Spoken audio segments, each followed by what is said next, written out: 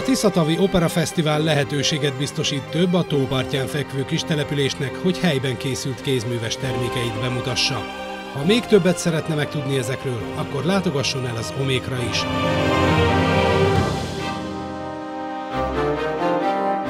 Természet Operaháza Tiszatavi Fesztivál, július 28-29-30.